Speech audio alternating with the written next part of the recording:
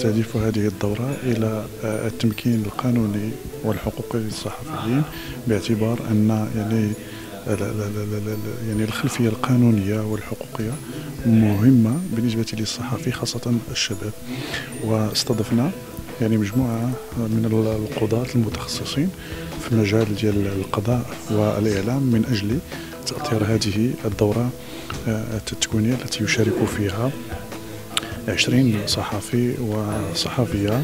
حاولنا من خلال المشاركة ديالنا الإبراز مجموعة من الأفعال التي تكتسب الصيغة الجرمية الواردة في القانون بالإضافة إلى العقوبات التي أوردها المشرع كجزاء لها مع الإشارة في الجانب العقوبي بجانب العقوبات أنه تم إلغاء العقوبة السجن والحرية وتم الاكتفاء بمجموعة من العقوبات البديلة ولا سيما الغرامات المالية. بالإضافة إلى الحديث عن خصوصية المتابعة آه، أو تحريك الدعوة العمومية في قانون حرية قانون الصحافة والنشر التي منح المشرع خصوصية مقارنة مع الاختصاص القواعد العامة. مشاركة المدير العام الوطني في هذا الورش والدورة التكوينية للصحفيين الشباب تندرج في إطار آه، تثبيت آه، سياسة المديرية العامة الوطني في مجال انفتاح المجتمع المدني الانفتاح على مختلف مشارب المجتمع وكذلك وسائل الإعلام مختلف مشاربه سواء المرئية أو المسموعة.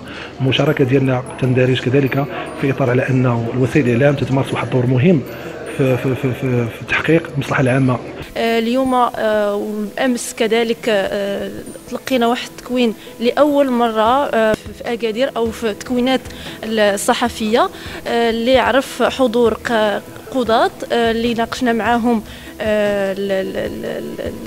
قانون الصحافة الصحافة والنشر والملابسات اللي فيه واللي كان واحد اللقاء تفاعلي.